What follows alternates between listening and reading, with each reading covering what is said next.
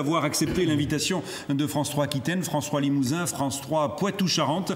Vous êtes les cinq principales têtes de liste de ces élections. Euh, certains qualifiés, on le sait, euh, les chiffres ne sont pas encore assurés ou consolidés. Euh, d'autres non, nous le verrons. Première intervention dans quelques minutes d'Olivier D'Artigol qu'on a peu vu ce soir. Je salue Alain Rousset, Virginie Calmels, Jacques Colombier, Olivier D'Artigol et François Scoutan. Et je m'adresse d'abord à vous, Alain Rousset. c'est inespéré, arriver en tête, enfin c'est inespéré par rapport au dernier sondage.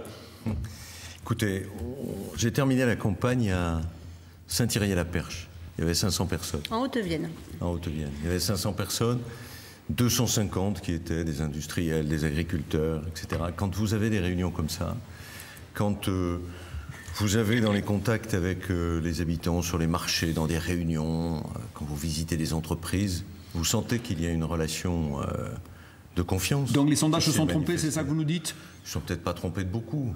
Pas de beaucoup. Virginie Calmels, euh, vous êtes déçue ce soir un peu d'arriver euh, dans les estimations euh, assez loin du, premier Je rappelle que nous sommes dans une des régions qui était censée être acquise par la gauche de façon totalement certaine et définitive depuis des mois. Ce qui ne sera pas le cas ce soir. Non, c'est pas le cas. Vous avez raison que les derniers sondages avaient montré que les lignes bougeaient. Moi, j'ai jamais pris les sondages exactement pour argent comptant. En revanche, qu'on a analysé dans les sondages, c'était les temps Les tendances, elles sont simples, c'est que le Parti socialiste baissait et que la liste que j'ai l'honneur de conduire augmentait. Et nous avons dit, ben, les courbes se croiseront le 13 décembre prochain. Justement. Moi, je ne suis pas déçue parce que je pense que faire quasiment du coude à coude dans une région qui a été taillée en plus pour maintenir la gauche en rajoutant le Limousin à Poitou-Charentes et à Aquitaine, on est quand même sur un bassin de population de gauche.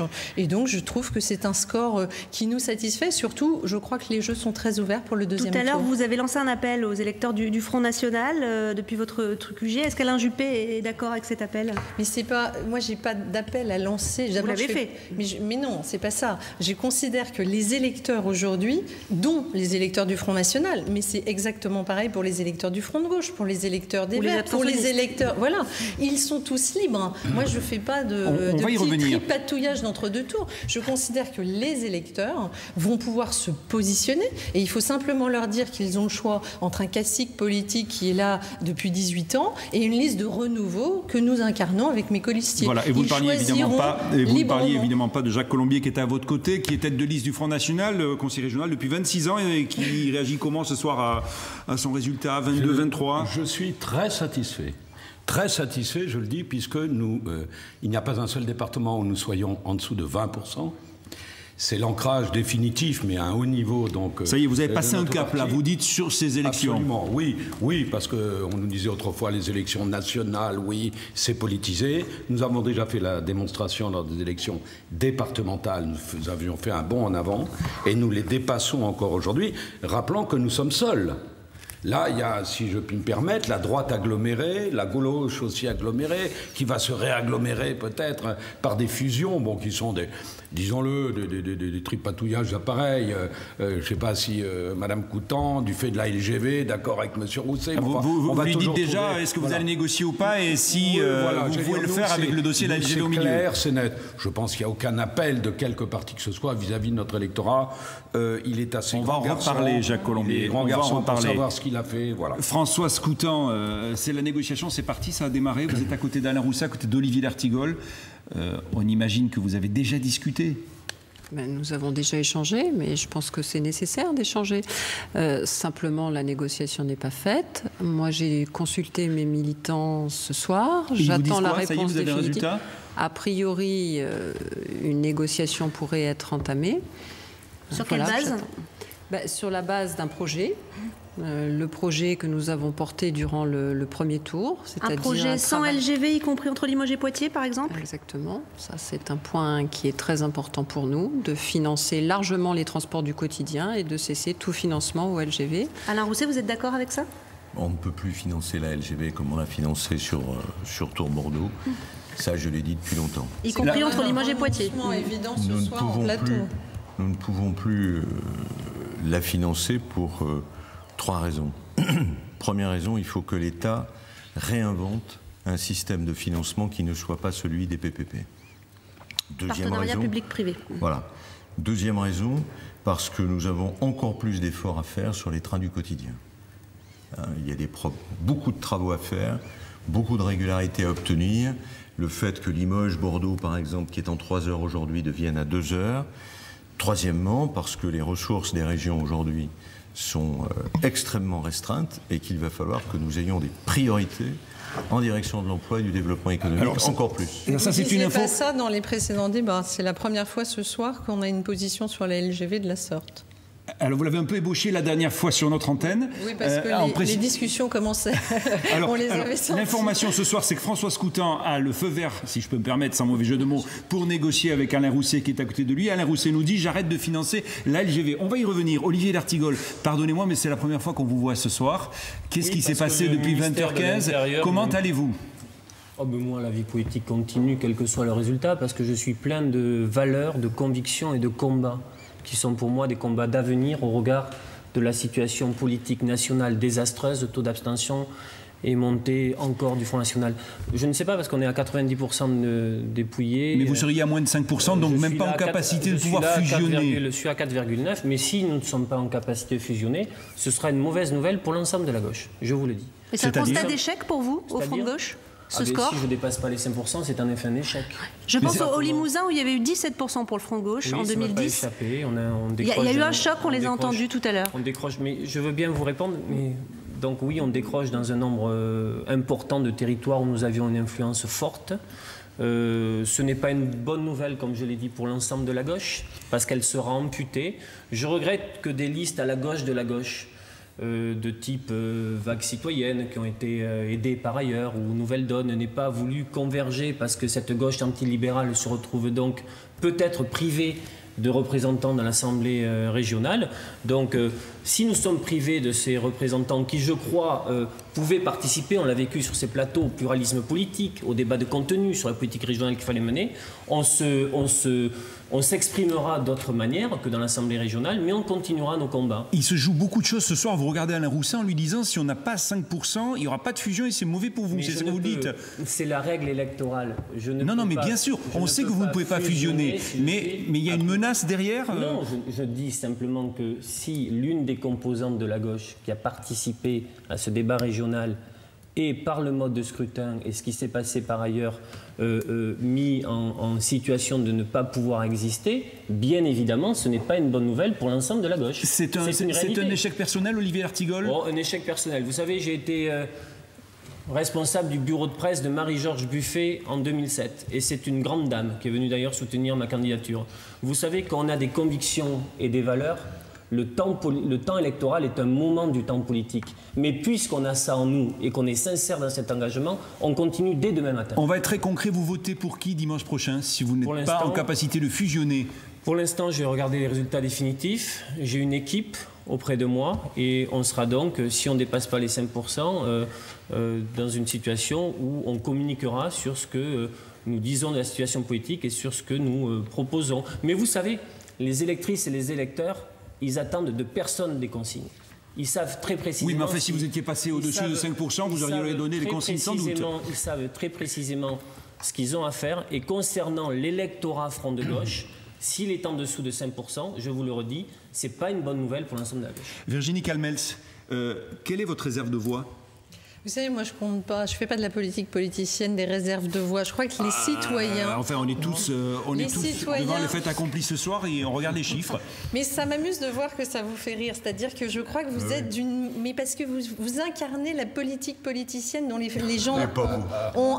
Bah, non, pas, moi. Vous, Vous savez, en l'occurrence, j'ai 18 mois de politique derrière moi. J'espère être plutôt représentative d'une volonté dans ce pays, qui est d'ailleurs assez marquée, de renouvellement. Je crois que les les, gens ont montré qu'ils ont peut-être envie de renouvellement dans la façon de faire de la politique, dans les valeurs que nous incarnons, mais aussi, ce qui est nouveau, dans le projet. Mais les chiffres sont les chiffres. à qui allez-vous vous adresser cette semaine en particulier On a senti tout à l'heure que l'électeur du Front National avait un rôle à jouer dans ce qui va jouer. Je le pense, parce que je crois que c'est un arbitre quelque part de cette élection, en arrivant en numéro 3. Mais ça, c'est aux électeurs de se déterminer. Moi, j'ai une équipe qui ne bouge pas, un projet qui ne bouge pas. pas victoire pour dimanche. Vous y croyez? Bah, Bien sûr. Pourquoi? Parce que là encore, arrêtons d'insulter les électeurs. Les électeurs sont des grands garçons et des grandes filles qui vont se déterminer, là encore, je pense, par rapport à une cohérence. Quand j'entends M. Rousset ce soir expliquer qu'il renonce à la LGV, non, je, renonce au financement par les je régions. Crois, je crois que les citoyens ont compris. le message. Vous avez changé votre discours en quelques heures, mais tout le monde a compris. En attendant, moi, je crois à la cohérence et je crois, au-delà de ça, que les électeurs vont simplement se déterminer entre réélire M. Rousset pour donc 24 ans à la tête de cette région ou donner euh, sa chance à des personnes comme moi qui ont envie de faire, d'être dans l'action, qui ont financé leur budget, qui ont dit comment. pourrait peut-être oui, oui, répartir correctement le temps de parole Non, mais bien sûr, il est réparti, ne vous inquiétez pas ce soir. Alain, euh, Rousset, vous allez répondre et ensuite Jacques Colombier. Sur cette question de la LGV, effectivement, est-ce qu'il y a un changement d'attitude de votre non, part Pas du tout. Nous avons participé avec Alain Juppé d'ailleurs, avec la plupart des collectivités au financement de Tour Bordeaux. J'estime qu'il serait totalement égoïste par rapport à Toulouse notamment, la quatrième ville de France, par rapport à l'Espagne, que ce projet s'arrête. Mais il est hors de question aujourd'hui que nous engagions l'argent de nos collectivités. Alain Rousset, la région Limousin a voté une enveloppe de 10 millions d'euros pour une étude sur la LGV Limoges-Poitiers il y a une semaine. Deuxièmement, je pense que il faut que Mme Kelmels arrête de nous donner des leçons de politique. Mais je, Parce que je, ne me permets pas de vous donner des leçons de politique. Attendez, attendez, vous, en avez donné je, vous je vous donne la parole après. Je vous donne la parole. Et vous coupez la parole, et vous coupez la parole à tout le monde, montrant qu'en matière Alors, politique politicienne, vous êtes vraiment, vous avez appris en l'espace de 18 mois à la vitesse grand V. Troisièmement, qu'est-ce qui s'est passé Qu'est-ce qui s'est passé? Il s'est passé que nous avions fait à la fois des rapports de confiance avec la société, le monde socio-professionnel dans cette région et dans ces régions, qu'il y avait une relation de construction et de projet, et nous allons continuer dans ce domaine-là. Quatrièmement, non, on va pas, on va pas, allons, non, mais ça, va, aller, ça va aller très vite. Euh, quelle que soit la position euh, électorale euh, du Front de gauche, je, je m'estime un devoir, celui de représenter ici, ce soir, dans la semaine, ce peuple de gauche. Ça veut dire qu'il y aura des postes pour des, élus front de gauche, malgré tout, même s'ils ne passent pas la barre Est-ce que, est que vous pouvez aller jusqu'à... Non, non, non. Ne posez pas cette question, est Vous... Non, non, non, mais bien sûr que c'est impossible. Mais quels sont les gages? Quels sont les gages? vous avez, mais quelle considération, pardon Alain Rousset, quelle considération vous avez pour les militants et les militants Quels seraient les gages pour rejoindre la liste d'Alain Rousset, pour appeler à voter qu'il y a une règle électorale. Je vous dis tout simplement que je me suis battu pour les trains du quotidien, pour les aides conditionnées aux entreprises, pour l'équilibre harmonieux des territoires, pour une démocratie régionale qui change la manière Donc vous êtes de faire. Ce que je veux simplement vous dire, vous avez suivi le débat parfaitement. Vous savez qu'il pouvait y avoir des points d'accroche, des points d'atterrissage et qu'il y a un débat qui est le débat national concernant la rupture ou pas de l'austérité. Ce que je veux simplement dire aux femmes et aux hommes de cette grande région, c'est que si le Front de gauche est éliminé de la représentation dans l'Assemblée régionale, pas du jeu politique, ce sera une mauvaise nouvelle pour l'ensemble de la gauche dans cette grande région parce qu'elle serait amputée d'une sensibilité qui est importante. Et la réponse est quoi, Alain Rousset Rapidement, c'est quoi? C'est comment, euh, comment parler aux électeurs du Front de gauche? Il faut que l'on travaille. Olivier D'Artigol parle de train du quotidien. Est-ce que je peux être contre alors qu'on a mis plus de 2 milliards sur le Mais train vous n'êtes pas d'accord sur la concurrence à la SNCF Est-ce que je Par peux exemple mettre... Mais il y a des débats que l'on aura. Est-ce que je peux ne pas être d'accord sur les territoires en déprise Est-ce que je peux ne pas être d'accord hein. alors qu'on l'a fait sur le fait que lorsque l'on aide une entreprise, il y a des conditions, notamment de recrutement des apprentis. C'est plein de choses et voir euh, d'éco-conditionnalité. C'est compris, Alain Rousset. Jacques Colombier, on a promis de, vous écouter ce soir. oui, qu'il est. Je crois qu'il n'y a euh, rien de nouveau sous le ciel de gauche. Il est évident qu'à la fin de la semaine, si euh, Madame Contant fait plus de 5%, qu'autant, oui, merci de vos remarques, une fois de plus. Ne perdons pas de temps. Euh, oui, perdons pas de temps. Euh, bah, il y aura évidemment une fusion avec la liste de M. Rousset. arrêtons, ne prenons pas les téléspectateurs ni les électeurs pour des imbéciles. Ça ne peut pas arriver avec vous parce que personne ne veut fusionner a priori avec vous, mais, vous, vous êtes en position d'arbitre. Mais je crois que c'est ça notre grande force. Nous ne voulons pas fusionner avec évidemment la gauche ou avec euh, la liste de Mme Calmel, qui a des des propositions et, des propositions totalement euh, différentes, c'est évident. Madame Calmel, bon, vous n'avez pas réussi tout à fait votre pari ce soir. Vous allez me dire, la victoire est toujours à la, à la portée. J'ai quand même entendu Alain Juppé tout à l'heure. Il n'avait pas un ton très enthousiaste. Hein, reconnaissez-le quand même. Mais bon. Écoutez, Alain Juppé est venu à ma permanence nous soutenir. il est très je crois qu'il n'y a pas d'appel à faire, euh, surtout à l'électorat du Front National. C'est un électorat qui est très motivé, qu'il sait pourquoi il vote. C'est un vote d'adhésion. Et troisièmement. Et qu'est-ce que vous allez dire à cet électorat, Madame Calmel C'est intéressant pour vous, Monsieur Colombier. Qu'est-ce que vous pouvez dire à cet électorat Non, moi je vais continuer.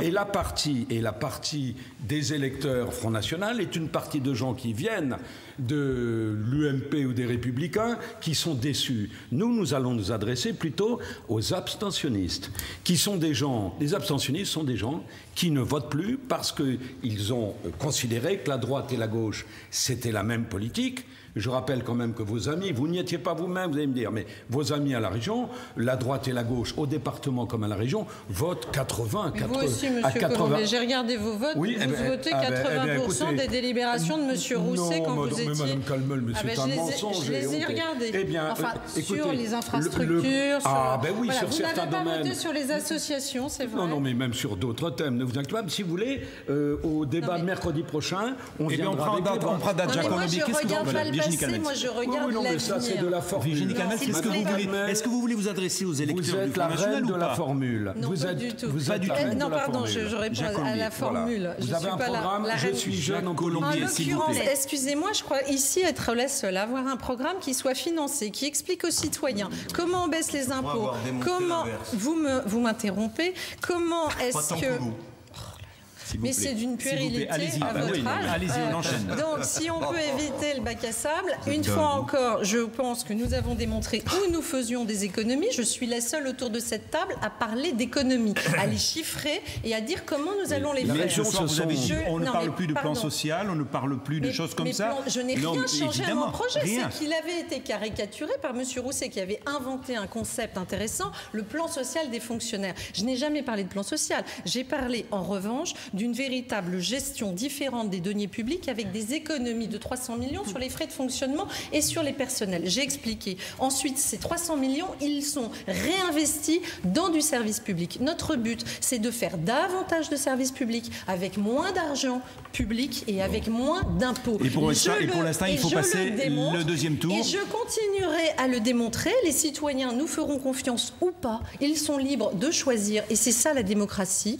En attendant, moi, je continue continue sur ma ligne. J'ai un projet, il est financé. Je crois que les gens savent exactement ce que nous allons faire de notre argent. Et surtout, il, n'y a pas de changement au fur et à mesure des débats. Moi, Monsieur Rousset, je ne sais plus où il est sur la LGV. Je ne sais plus très bien où il est sur les primes la aussi. Même position que les, les primes, Madame Coutan a, du retard dans son temps de parole. candidat au régional. sur les primes fonctionnaires, vous avez révélé à trois jours du scrutin aux syndicalistes de la région, vous étiez prêt à aligner les primes à hauteur de 13 millions d'euros, alors qu'en débat sur l'antenne de TV7, vous nous aviez dit que vous étiez hostile. Sur la durée et vous avez dit dès janvier 2015. Sur la durée du mais Monsieur Rousset, vous comprenez bien qu'on ne peut pas continuer avec cette politique politicienne parce que vous avez peur de ne pas vous maintenir. Mais vous il y aura millions d'euros d'argent. On aura l'occasion d'y revenir mercredi.